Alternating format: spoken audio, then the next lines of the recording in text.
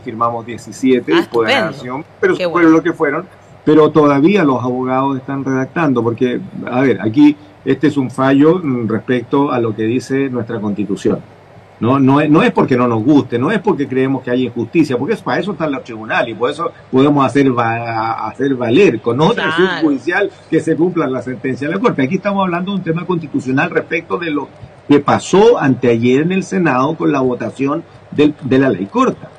Que dicho sea de paso, no todo es malo, chicos. ¿ah?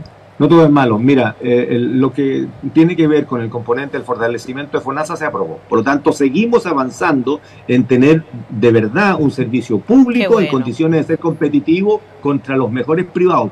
Y eso hace que el senador Castro y yo estemos cateteando y cateteando para que aprovechemos el impulso y hagamos una reforma a la salud que hace años venimos señalando. En el gobierno de la presidenta Bachelet 2 se lo dijimos, presidenta, la ciudadanía tiene dos prioridades. Pedimos una reunión como bancada, en ese tiempo éramos 22 diputados de la bancada de la Fuerza Cristiana, y le dijimos, presidenta, le queda un año de gobierno, reforma previsional y reforma a la salud.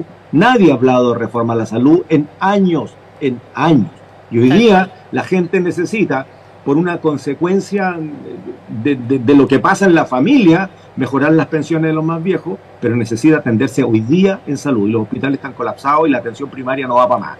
Por lo tanto, se lo dijimos. Y la presidenta inicia una mejora, pero fue tan tímida esa mejora que al final no significó prácticamente nada.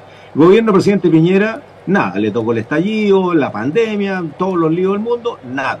Y ahora tampoco, ahora lo que hay es toda una pelotera producto de un fallo judicial, no es una decisión política que vamos a transformar las cosas, es producto del fallo. Lo otro